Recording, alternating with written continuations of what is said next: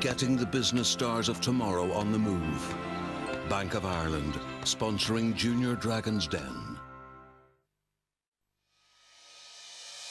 Who is prepared to enter the Dragon's Den?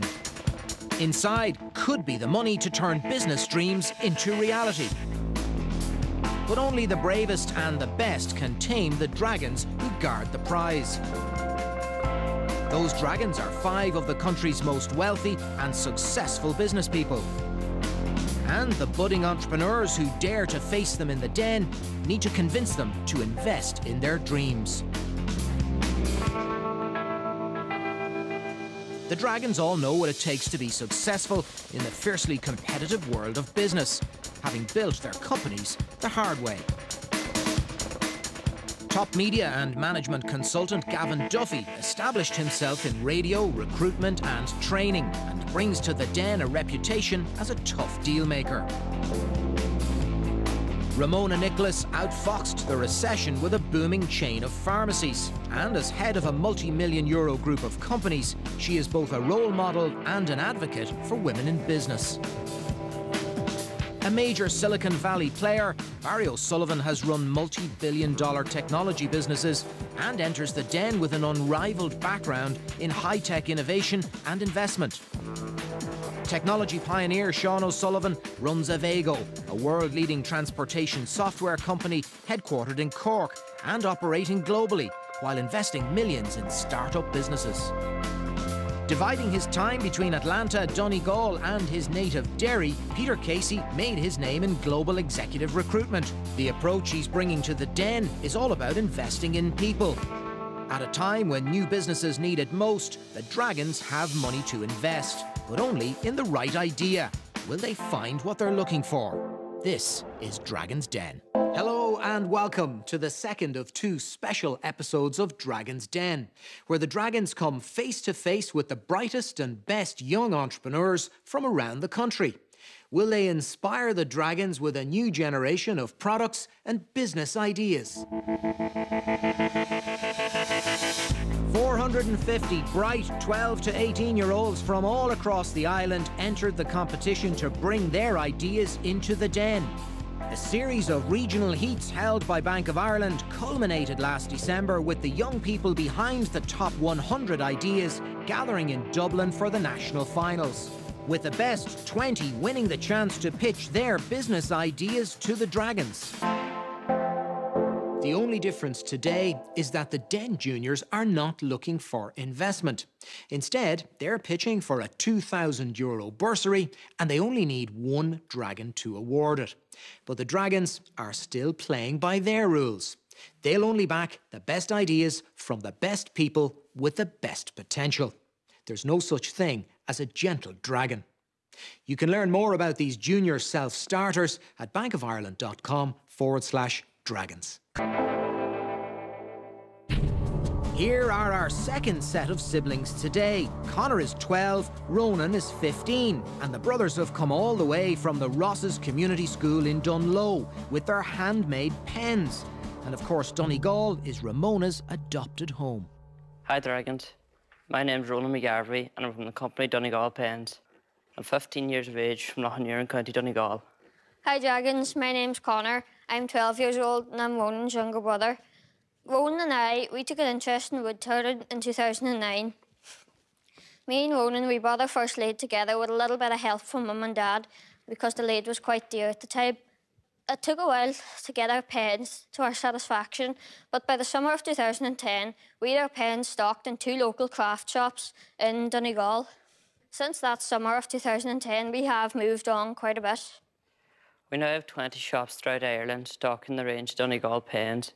We also have three stores in Germany stocking our range of pens. The timber that we use in the pens, most of it we source from Donegal, from carpenters and sawmills. Recently, we released a new type of pen, which is a stylus pen. It doubles as a normal pen on one side and a stylus on the other for touch applications such as your iPhone, your iPod, and the likes. Thank you, Dragons, and we would like to present you with a pen each. Oh, thank you. Straight away, the brothers have brought two things the dragons love to see in the den confidence and free gifts. But do the pens live up to the pitch? How much does this cost? Well, on our website, they range from a price of sixteen ninety five and they reach a price of thirty four ninety five. So this one here would be how much? That one there would be thirty four ninety five. I'd certainly pay that for it. Thanks, boys. Look, here in the den, I use uh, one of the world's leading uh, branded pens, right? And uh, your pen beside it just looks, feels, and uh, would sell so much better. It's amazing. So, how did it come about? Well, in Antrim, we turned our own pens and we really liked the wood turning. And we got the idea from that that I went on a day's wood turning, learned how to do the pens, and then I taught it to Conor. Who's the better at, at which functions uh, in the company, in production or in sales or? Well, um, really, we'd take turns at um, doing different jobs in different parts of the business, but we'd share them equally to keep a good finished product. Now, uh, I I was asking that question to both of you, but Conor, it seemed you, you jump in, and so you t- tend to uh, be uh, the spokesman for the two. Would you say? Yeah. Very good. Guys, just how did you get into Germany? That sounds very interesting. Last year, we featured on a French-German TV show. There was Germans over, and they were doing a feature on Donegal. Okay. And um, they approached us and they asked us would we be able to. There was a great outcome from that, and um, we also have three. We have three shops in Germany stocking them too. The brothers clearly grasped the skills of wood turning very quickly, but Barry wants to know whether they have as good a grip on the business side. So let's talk about the numbers in your business. How much have you sold so far? What sort of profit have you made? And then as you look out over the next couple of years, what do you hope to do? Well, so far we've sold 1,750 pounds over the last two years. We've had an income of 23,000 and an expenditure of 15. The reason the expenditure is so high is due to the first year we had to buy all the machinery and parts necessary for the production of the pens. But then we, over the last two years, we've had a profit of 8,000.